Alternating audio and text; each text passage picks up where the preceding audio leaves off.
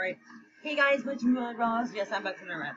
And yeah, I guess it's makes me since I'm running out of ideas for rants. I guess I could rant on this. But anyways, yeah, I'm gonna be ranting on he slash should hate this stuff forever terms. But if you guys like this term, I can handle your opinion. Alright, let's get started. I don't know where to begin with, but this term sucks. Why?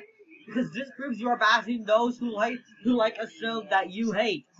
Like for example, Christmas Sunday No said this to David the Green Ghost 5. He said, what? He should hate bubble guppies forever. And that will cause you to get a lot of hate.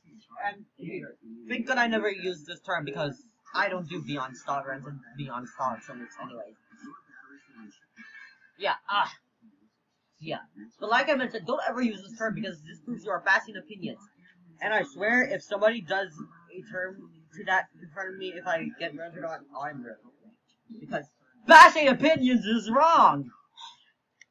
But anyways, yeah, that's it for the round. That'll be it for next time. Bye.